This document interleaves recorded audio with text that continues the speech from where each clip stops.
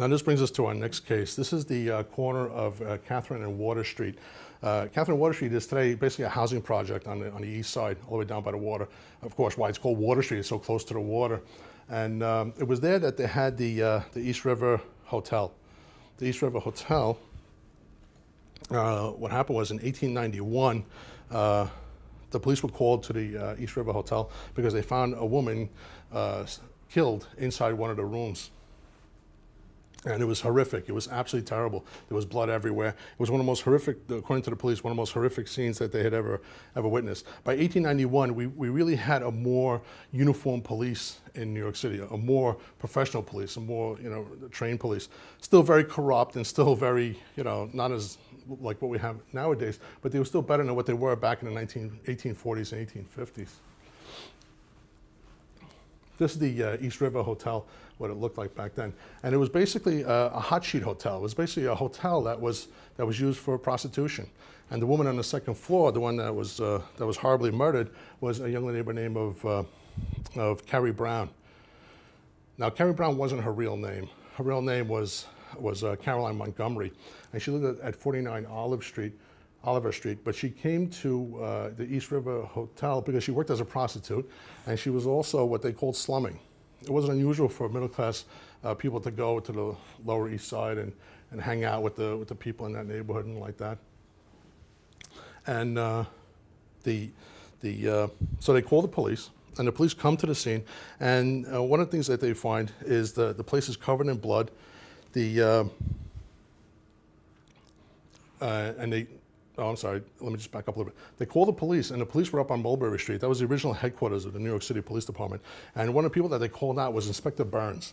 Now, Inspector Byrnes was kind of a legendary uh, character in the New York City Police Department because he was the one who, was credited, who really, you know, inventing the whole detective division in the, in the police department, charging young, young detectives, aggressive detectives to do real investigative work. And in, in 1888, uh, when the uh, when the Jack the Ripper murders were happening in London's East End in the Whitechapel district, it was he who actually said, well, if we ever had a Jack the Ripper here in New York City, I would have solved this case within one to two days and 24 to 48 hours. Well, what happened was in 1891, when this crime happened, all the newspapers held him to it. You know, guys like Jacob Riis said, okay, tough guy, you know, let, us see, let's see you solve this case. Yeah. And he actually went out and he actually interrogated a lot of people. Unfortunately, the way uh, Thomas Byrnes that's Thomas Byrnes right there. The way Thomas Byrnes would investigate, was interrogate people, was, was would give him what was called the third degree. That's an example of, of what kind of a, yeah, yeah. And the reason, people always ask, where does the term third degree come from? It's actually a play on Thomas Byrnes' name, because it, was, it was a third degree Burns. Get it? Yeah, really. And that's what he, and what he would literally do is he would have two detectives hold the guy and they would actually punch the person you know, in the abdomen and, and in the genital area so they wouldn't leave any marks. Yeah, and, and until you confessed, you know, and then you had your perpetrator. So what happened was uh, Thomas Byrnes uh, sends out his men, and they find out that one of the last persons to see uh, Carrie Brown alive was a guy named Frenchie. That's all they had was a nickname. And it turned out there really was a Frenchie. It was a guy named uh, Ameer Ben Ali. Ameer Ben Ali was brought in. He was found in the, in the area. And he said, yeah, I was one of the last people to, to be with her. I was having drinks with her at a bar. And, um, and he said, but I didn't kill her. I don't know what you're talking about. I, I know nothing about this. It has nothing to do with me. I didn't, uh, I didn't murder her.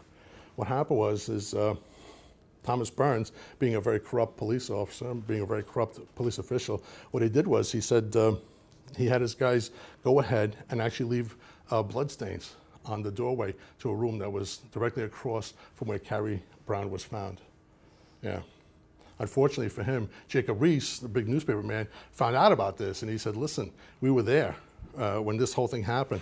The, uh, there was no blood on that doorway when, when we came there. Because it wasn't unusual back then for the, for the newspaper reporters to go to a crime scene and get there as, uh, right after it happened and usually destroy evidence. But Jacob Riis was able to see that. He was able to see that there wasn't any blood on, on that doorway. And it was, it was really something that uh, Inspector Byrnes actually did to frame this guy. Yeah. It turns out also that uh, uh, Ameer Ben Ali was actually found guilty for the murder. And he ended up spending 11 years in jail for that murder. Yeah. It wasn't until much later that, that people who took it upon themselves to show the corruption in the New York City Police Department, they said, this guy's totally corrupt. This is not, this is not what you think it was. And he was actually fired from the New York City Police Department. Of course, he was fired, but he had amassed by then a, a personal fortune of th- over $300,000 uh, on a salary of $5,000 a year in the New York City Police Department. Yeah. Now, what I have here is some of those uh, autopsy photos from the uh, from this case. So, if it's if you find it disturbing, you can look away. And like I said, I'll show them anyway. Well, I'm sorry. This is that's Carrie Brown. No, what, what's, what's really interesting about this is that she was almost 60 years old when she was murdered, but she was still working as a prostitute. Yeah. That's one of the, uh, that's one of the uh, autopsy photos. The reason that people think that this was linked between the Jack the Ripper case in London and New York is because there was a very distinct similarity between the two, between the two cases. The fact that the, the, the victims were disemboweled, basically. That's one, that's one picture there. And that's another one there. See, there's a, there's a carved in X there in the back. Apparently, that was also one of the signature marks of Jack the Ripper, leaving an X mark like that. And this last photo is also, this is an actual uh, autopsy photo from the Jack the Ripper case. So you see there are similarities between the two.